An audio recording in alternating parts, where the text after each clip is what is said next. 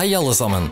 Dette er enda en del av selskapet Autodox videoinstruksjon om hvordan skifte bildeler. Begynn med dine egne bilreparasjoner.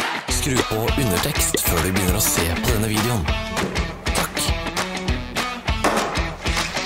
Ikke gå glipp av våre nye interessante videoer. Bare husk å klikke på abonner-knappen og bjelleikonet.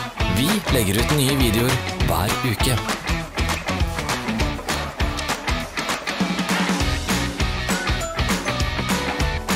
Se beskrivelsen nedenfor for lenker til nettbutikken vår, hvor du kan kjøpe reservedelene.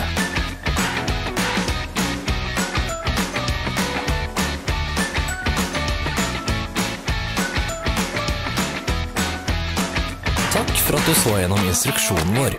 Hvis du likte denne, trykk på lik-knappen og del med vennene dine. Ha en fin dag!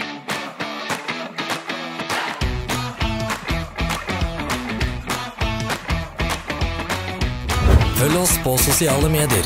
Vi er på Instagram, Facebook og Twitter. Alle linkene er i beskrivelsen.